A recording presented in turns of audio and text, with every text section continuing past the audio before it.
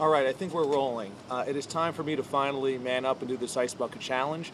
They always ask you the three people that you would challenge. Uh, I'm going to go, obviously, George the Iceman Gervin, San Antonio Spurs Hall of Famer.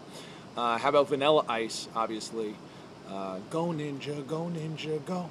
And uh, I think the the lady in the in, that was sitting in back of me at the theater when I went to go see uh, X Men, that when Iceman came out, uh, told him to do to the bad guy, "Ice it up, baby, time to ice it up."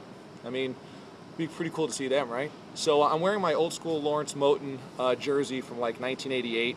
Uh, and I'm wearing uh, Zubaz, which you will see coming up here. Uh, I'm also in the streets of New York, so if you see me get mugged or jacked or uh, anything like that, it's your fault. All right. Here we go.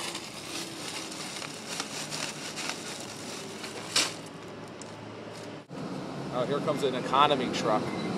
Guy, can we get a quiet moment on the street? Just one? Jeez. All right, here you go. Oh, yeah.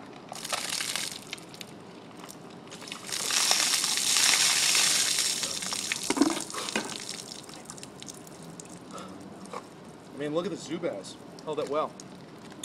All right, now the good thing is I'm actually going to go donate too. So think I'm ready to to go out and uh, do a power lunch in Midtown Manhattan or something like that. Maybe I'll just walk into the bar like this. Feeling good, ladies. Soaking wet. Zubaz, old school jersey. What do you think?